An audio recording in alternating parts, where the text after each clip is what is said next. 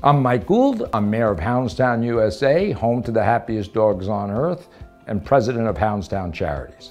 So I began my professional career working with dogs in 1981. As a New York City police officer, I was selected to participate in a pilot program which the New York City Police Department never had dogs, canine dogs, patrolling the streets of New York City.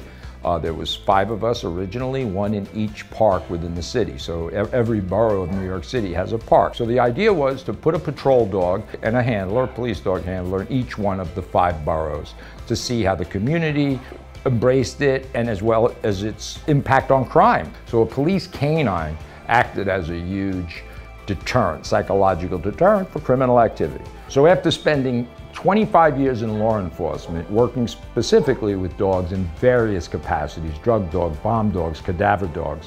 I developed, a, I guess, a reputation in the community of being somebody that could care for people's dogs for them safely from that experience. And we were really pioneers in the doggy daycare business. This happened in 2000. We're talking about 1999 to 2000. We were planning on opening our first location, which we did. It was a small 1,200 square foot factory and the events of 9 11 took place.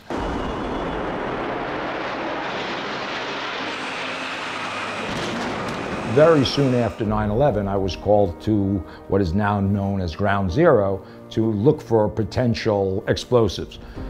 But while doing that, I was obviously distracted. The whole world was distracted from what they were doing, including my doggy daycare. Rescue workers then needed a place to leave their personal dogs, firemen, police, paramedics. They all needed to get to ground zero. So it was a kind of an ironic twist as life goes on. So ground zero or 9-11, the worst tragedy in the world. I thought my business was shattered. I was planning on retiring from the police department and open up this doggy daycare. But the whole time, moving forward, from that day forward, our business has grown and grown and grown to where we are today.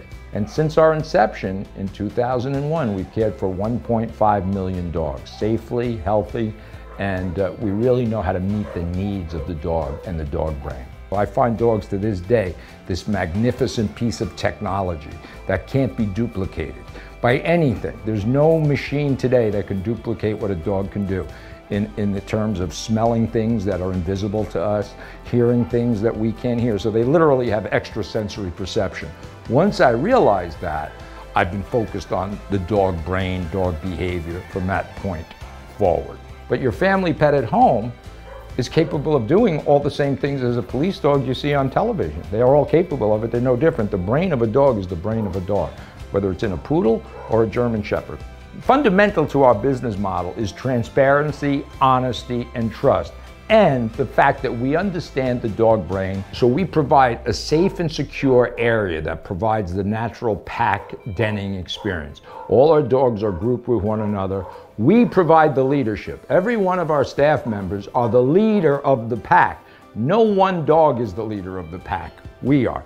And how we get that is in a very natural way.